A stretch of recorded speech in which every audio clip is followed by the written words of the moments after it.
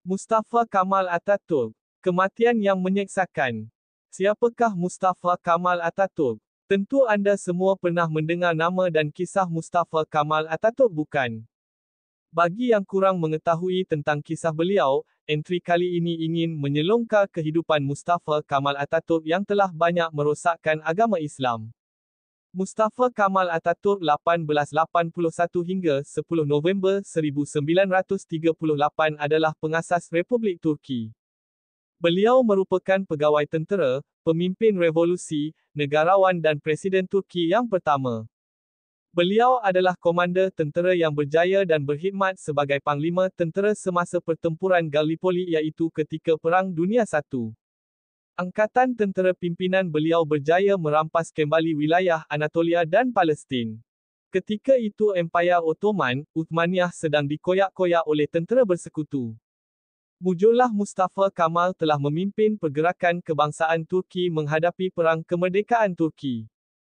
Beliau telah memindahkan ibu negara Turki dari Istanbul ke Angora yang kini dikenali sebagai Ankara. Mustafa Kamal telah membentuk semula aspek kehidupan rakyat Turki agar sesuai dengan tuntutan semasa yang kemudian dipanggil ideologi Kemalis. Ideologi ini bertujuan menyediakan Turki ke arah negara moden, demokratik dan negara sekular, positif dan bertindak rasional. Beliau memerintah dari tahun 1918 hingga 1934. Beliau adalah seorang negarawan yang berkebolehan dalam bidang politik memperkenalkan sistem politik sekularisme, beliau berjaya meruntuhkan Empayar Turki Uthmaniyah. Mustafa Kamal Ataturk meninggal dunia pada tahun 1938 dan telah dikebumikan di sebuah makam di Ankara iaitu ibu negaranya. Kematian Mustafa Kamal Ataturk yang penuh azab. Di saat kematiannya, Allah telah datangkan beberapa penyakit kepada beliau sehingga beliau rasa terseksa dan tak dapat menanggung seksaan dan azab yang Allah berikan di dunia. Antaranya ialah 1. Didatangkan penyakit kulit hingga ke kaki di mana beliau merasa gatal-gatal seluruh badan. 2. Sakit jantung. 3. Penyakit darah tinggi. 4. Panas sepanjang masa, tidak pernah merasa sejuk sehingga terpaksa diarahkan kepada bomba untuk menyiram rumahnya 24 jam. Pembantu-pembantunya juga diarahkan untuk meletak ketulan-ketulan ais di dalam selimut untuk menyejukkan beliau. Maha suci Allah, buat macam mana pun rasa panas tak hilang-hilang. Oleh kerana tidak tahan dengan kepanasan yang ditanggung, beliau menjerit sehingga seluruh istana mendengar jeritan itu.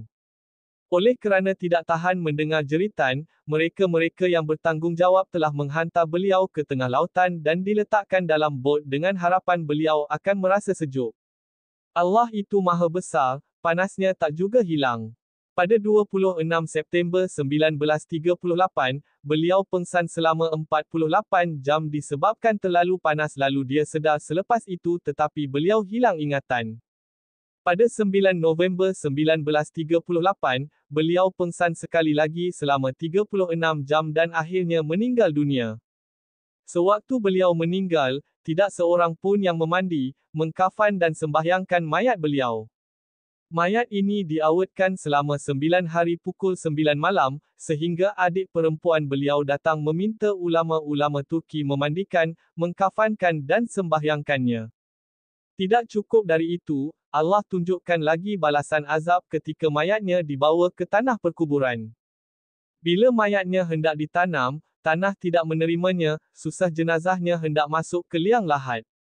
Disebabkan putus asa, mayatnya diawetkan sekali lagi dan dimasukkan ke alam muzium yang diberi nama etnografi di Ankara selama 15 tahun, sehingga tahun 1953. Selepas 15 tahun mayatnya hendak ditanam semula, tapi Allah Maha Agung, bumi sekali lagi tak menerimanya. Habis ikhtiar, mayatnya dibawa pula ke satu bukit ditanam dalam satu binaan marmar beratnya 44 ton. Mayatnya ditanam di celah-celah batu marmar. Kerosakan yang telah dibuat Ataturk. Di sebalik kematian beliau yang sungguh tragis itu, sebenarnya semasa hayatnya beliau telah melakukan pelbagai, bagai kerosakan terhadap agama Islam di Turki khususnya. 1. Membolehkan perempuan memakai tudung dengan syarat pakai skirt.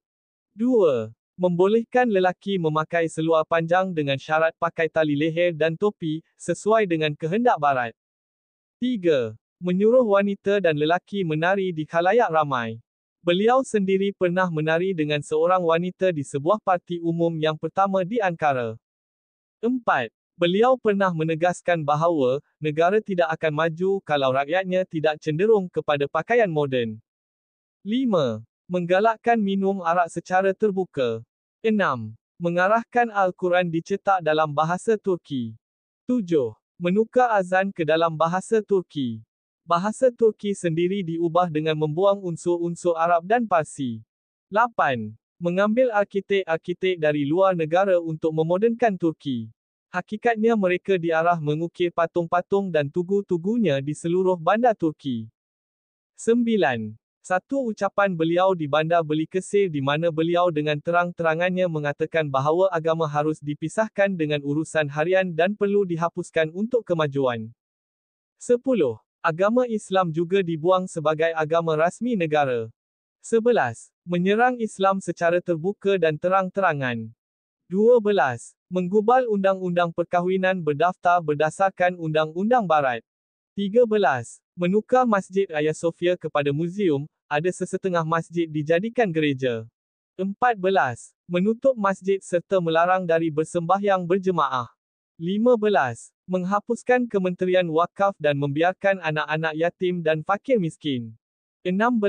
Membatalkan Undang-Undang Waris, Faraid secara Islam. 17. Menghapus penggunaan kalendar Islam dan menukarkan huruf Arab kepada huruf Latin. 18. Menganggap dirinya Tuhan sama seperti Firaun. Berlaku peristiwa apabila salah seorang askarnya ditanya, siapa Tuhan dan di mana Tuhan tinggal. Oleh kerana takut, askar tersebut menjawab, Kamal Ataturk adalah Tuhan. Beliau tersenyum dan bangga dengan jawapan yang diberikan oleh askar itu. Begitulah hayat hidup seorang pengkhianat agama, telah ditunjukkan kekuasaan oleh Allah dan diberi pembalasan sebelum hari akhirat lagi. Semoga kita dilindungi dari segala dugaan dan dilindungi di bawah rahmat Allah Subhanahu Wa Taala.